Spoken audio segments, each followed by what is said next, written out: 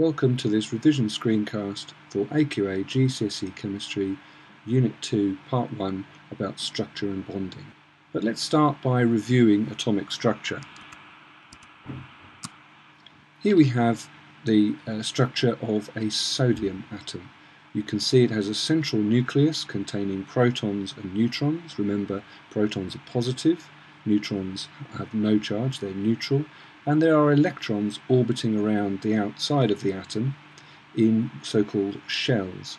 The first shell can contain a maximum of two electrons, the second shell contains a maximum of eight electrons, and the third shell also a maximum of eight electrons. So the sodium atom having 11 electrons, you start filling up from the middle, so the first shell has two in, that's full, then you start filling up the second shell, that has eight, and then that's full, and then finally the 11th electron goes into the third shell. So sodium is said to have an electron configuration of 281.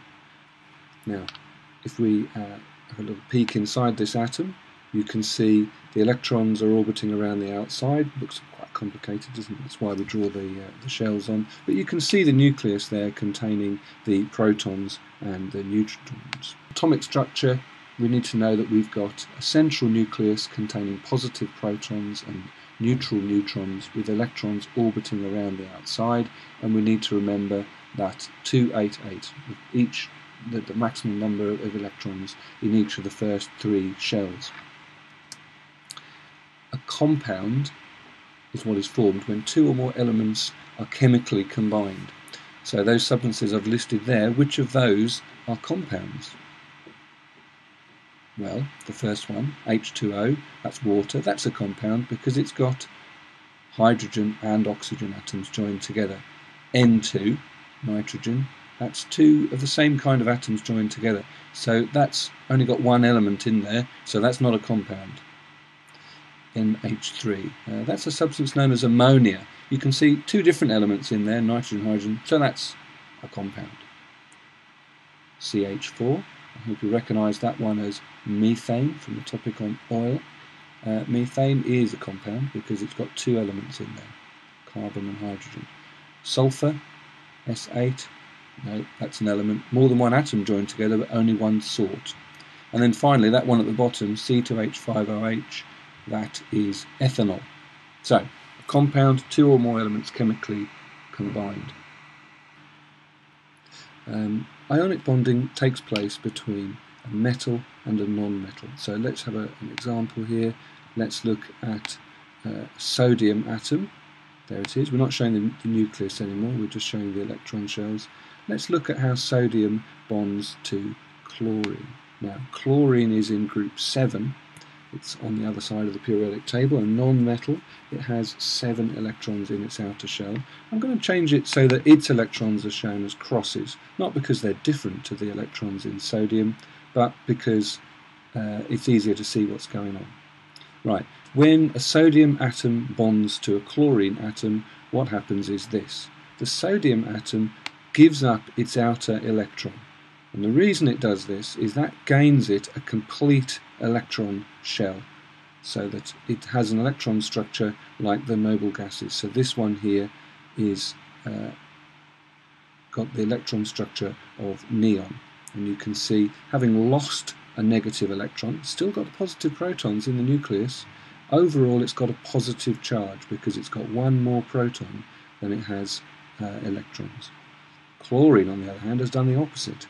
It has become more stable because its outer shell is now complete, contains eight electrons, and because it's got now gained an extra negative electron, still got the same number of positive protons as it has had before, uh, so overall that's got a negative charge.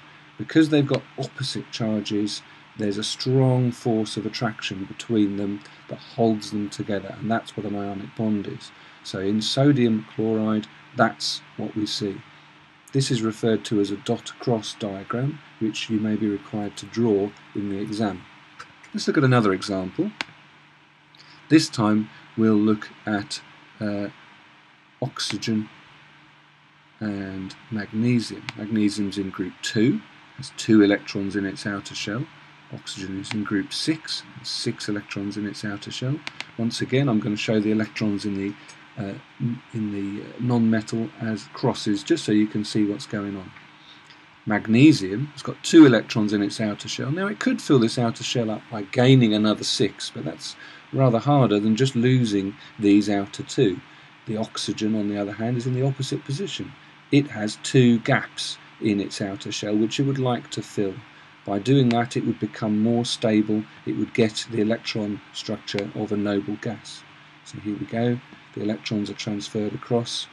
The magnesium now forms a 2 plus ion because it's lost two electrons. The oxide ion has a 2 minus charge because it's gained two electrons. So again, there's a strong force of attraction because of these opposite electrical charges that holds the ions together. Once again, though, you notice there's one of each type of ion, but that's not always true. Let's look at another example. Let's look at magnesium again, but let's see what happens when magnesium bonds with chlorine. When that happens, let's change those to crosses. When that happens, the magnesium is able to give away its first electron to the chlorine. The chlorine is now stable because it's got full outer shell. It's become a negative ion because it's gained an extra negative electron. This now is unable to accept any more electrons because all the positions are full. The magnesium, on the other hand, is not quite stable yet because although it's lost one electron, it's still got one more to get rid of. It, it needs another chlorine atom to be able to do that. So here's another chlorine atom. The magnesium is then able to give away this outer electron to another chlorine atom so that now we have two chloride ions for every one magnesium ion. So the formula for magnesium chloride would be MgCl2 because there are two chlorine atoms. Let's try one more. Let's have a look at what happens when uh, an alkali metal such as sodium forms an oxide, so reacting with oxygen. The sodium's got one electron in its outer shell, and so gives up that electron to an oxygen. So the sodium ion is now stable because it has full electron shells, it's got the electron configuration of a noble gas. Oxygen, on the other hand, the oxide ion is not yet stable because there's still one more gap here. It needs another electron from somewhere else. So this time it will need another metal ion. So in this case the sodium, here we go, another sodium atom gives up its electron to the oxide ion. The oxide ion now is stable. It's gained two electrons, which made it a minus two ion and it's gained those two electrons, one from each of two sodium atoms. So the formula for sodium oxide would be Na2O. We've been just looking at ionic bonding. Ionic bonding is where you get ions forming, and it always involves a metal and a non-metal. So if you see a compound and it contains a metal element from the left hand side of the periodic table and a non-metal from the right hand side of the periodic table, you can tell it's going to be ionically bonded. Metals on the left hand side of the periodic table, they lose electrons and in so doing form positive ions. The opposite happens to non-metals on the right hand side of the periodic table, they gain electrons to form negative ions. Uh, Atoms form ions because they want to gain the electronic structure of a noble gas. In other words, any shell with electrons in is complete. That makes them more stable. And an ionic bond is this strong electrostatic force of attraction between oppositely charged ions. So here are some, some common ions. In the exam you may well be provided with a list on a separate sheet or at the start of the question, and you're expected to be able to work out the formula of an ionic compound given that information. So, for example, if we were going to work out what's the formula of sodium chloride, we'd look and see sodium is Na plus, chloride is Cl minus, so one of each, the formula is NaCl. Or magnesium oxide, we looked at that one, didn't we? The magnesium ion is a 2 plus, the oxide ion is a 2 minus, so one of each That gives us MgO as the formula of magnesium oxide. You notice um, how the ions have the superscripted 2 plus or 1 plus or 1 minus there, but when you write the formula of the compound, you don't show the formulae of the ions, you just have the, the, the symbol there. It's a common mi misunderstanding of students to write in the minuses and the pluses when you're writing the formula of an ionic compound, and that's unnecessary. We just want to uh, show the number of ions you need to, to overall have a neutral charge. So let's have another one, potassium sulfide. The sulfide ion, as you can see from the list there, has got a 2 minus charge. The potassium has got a 1 plus charge. So if I had one of each, I'd only have 1 plus to get against a 2 minus. So overall, it's still got a, a minus 1 charge. So I need two potassium ions to cancel out the minus 2 of the sulfide. So the formula is K2S. Notice the name, sulfide, sulfur and oxygen and chlorine change their name slightly when they're ions and they have a, an, an ending there, IDE. However, you notice at the bottom of the list there are some uh, ions that have a name ending in ate.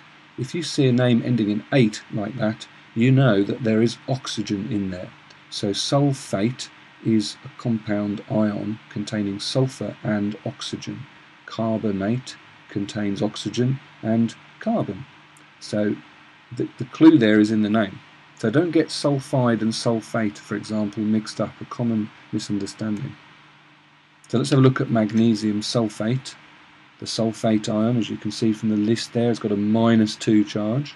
The magnesium has got a plus 2 charge. So the two cancel each other out. So the formula of magnesium sulfate would just be MgSO4. One more. Let's look at sodium carbonate. Sodium, Na plus, a 1 plus charge. Carbonate has got a 2 minus charge. So that means to cancel out the 2 minus charge, we need two lots of the sodium ion because they've each only got a charge of 1 plus. So therefore the formula of sodium carbonate is Na2CO3.